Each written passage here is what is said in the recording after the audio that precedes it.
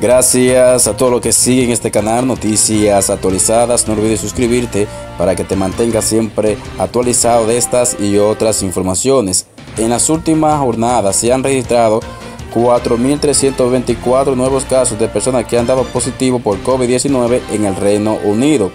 Reino Unido ha registrado este miércoles 563 nuevas muertes por coronavirus, lo que supone un nuevo máximo de decesos en 24 horas y eleva el total de fallecidos en el país a 2.352 personas.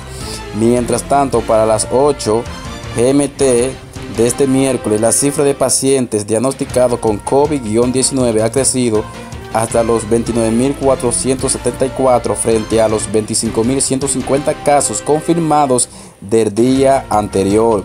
Gracias a todos por seguir esta noticia. Recuerda suscribirte para que te mantengas siempre actualizado de todo lo que sucede en el país y el resto del mundo. Gracias amigos y hasta el próximo video.